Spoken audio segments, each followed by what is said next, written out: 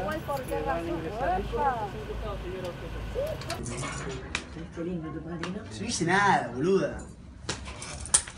Señora, no sé, señora.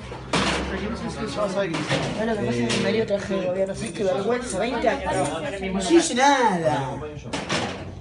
Vamos a corroborar que el número de email que dice en la orden de allanamiento sea conteste con el teléfono que dice el padre de la persona que estamos buscando, que es el número de email.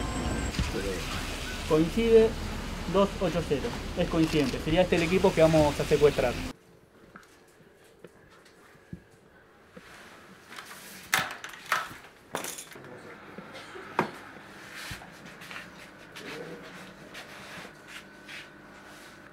Llegó un mensaje llamada, ¿no? Sí, Acá te pago con lo que quieras.